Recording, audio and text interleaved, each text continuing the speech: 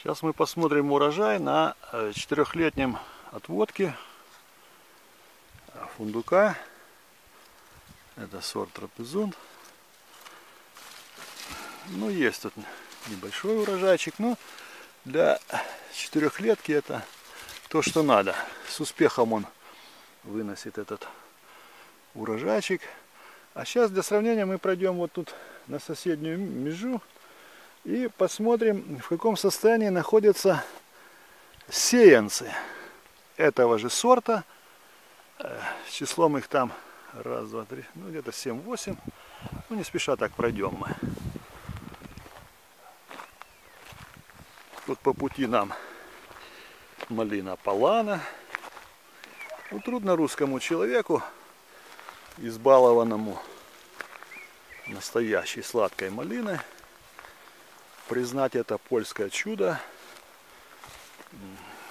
вкусной, хорошей ягодой. Ну, все вы прекрасно осведомлены. И вот сейчас мы подходим к этой куртинке и смотрим. Ну, во всяком случае, урожая я здесь не вижу. Вот какой-то уродец проглядывает там. Не формой, конечно, не статью он трапезунду и не годится. Итак, 8 лет тому назад были высажены самые крупные орешки в грунт. И вот мы видим, что получилось. Э, встретилось мне на ютубе видео, как правильно сеять фундук. Именно сеять. И вспомнил я анекдот. 70-е э, годы, глубинка, Россия, зима, глубокий снег – звонок. Ну, смотрим, так будем идти не спеша. Из райкома партии в колхоз. Трубку берет секретарь мужчина. Ну, тогда это было модно. Бабы в полях работали, а мужики были кладовщиками, бухгалтерами, секретарями, учетчиками, бригадирами. Райкомовец спрашивает, нужен председатель ваш, Иван Петрович. А он сеет, отвечает секретарь, и связь прервалась. Удивился райкомовец, еще раз набирает.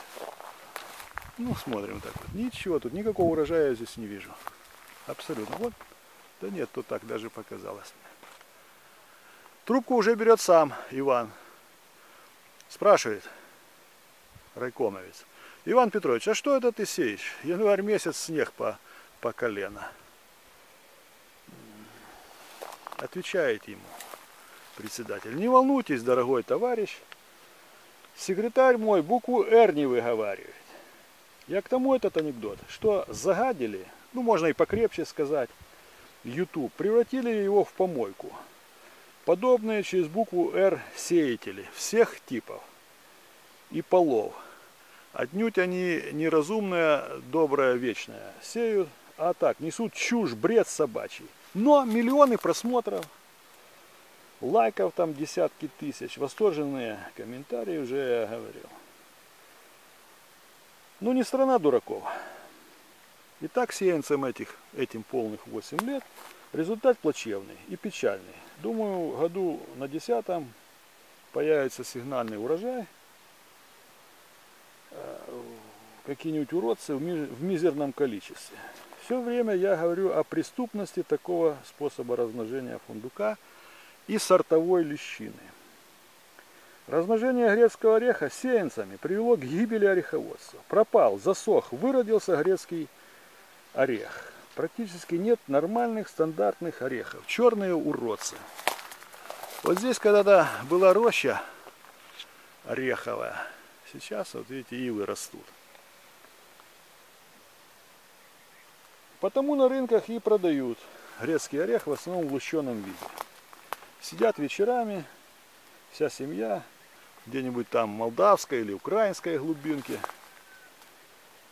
И лущит орех не очень чистыми руками, периодически выходя в туалет и не моя их потом. Руки не знаю, орехи точно не, не дезинфицируются.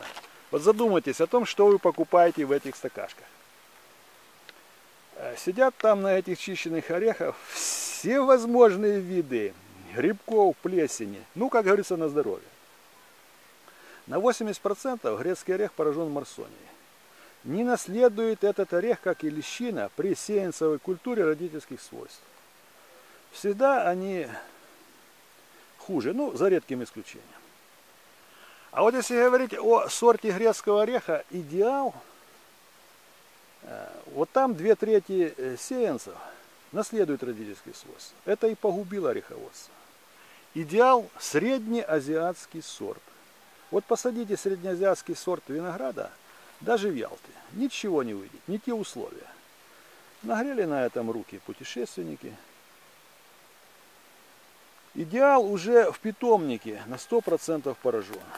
Говорю все время об этом. Но на моем видео, что нельзя так делать, дизлайков больше. Ну не страна дураков. Ведь вы же садите орех на многие годы. Для людей, детей и внуков. Что они получат? Вот дрова. И не более того. Упущен уже грецкий орех. Никто им не занимался на высоком ответственном государственном уровне. Все на откупе участника. Боюсь, что такое может случиться с фундуком. И не лавры э, Мичуриных движут вот так называемых этих селекционеров. Мичурин, как известно, был бессребренником. Этим гроши подавай, главное урвать. То какие-то гибриды, то новый сорт с 20 орехами в плюске. И все супер-пупер выше крыши, лучше всех. Где многолетняя проверка достоинств? Где госиспытания?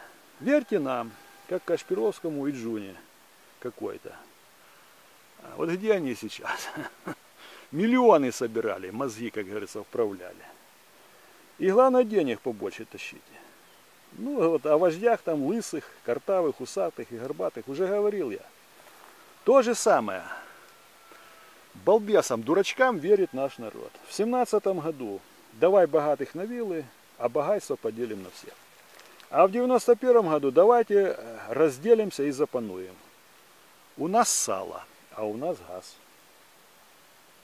Ну что, зажили? Хоть тут, хоть там миллион, десятки миллионов погибло людей.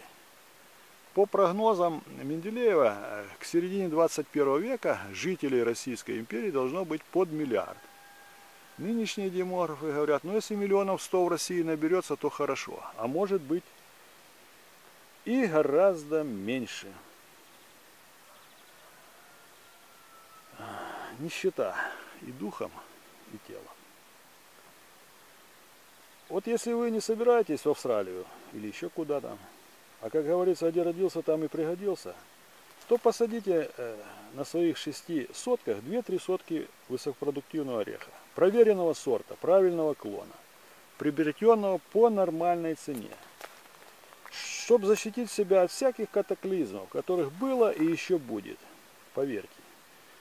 Деньги легко превратятся в, нич в ничто не стоящую бумагу, в ничего не стоящую бумагу а газ квас. А у вас и еда, и дрова. Не жили хорошо, как говорится, и начинать не надо было. Верим аферистам, клоунам, проходимцам, хоть и в экономике, хоть в политике. Банкам. Деньги, если есть, храните в стеклянных банках, так надежнее. А экономистов у нас, академиков, членов, корреспондентов, пруд пруди, больше всех, чем в мире. Хотя я не знаю, если где-то а, в мире члены-корреспонденты. На первом месте страна наша по полезным ископаемым в мире, которые, как известно, эти ископаемые должны принадлежать всему народу, в теории, а на самом деле Миллеру и Штирлицу. А по уровню жизни знаете где страна наша, отнюдь не впереди планеты всей. Сыщется ли когда-нибудь второй Михаил Евграфович Салтыков-Щедрин? чтобы написать продолжение истории одного города. Города Глупого и Глуповцев. Желаю вам всего хорошего.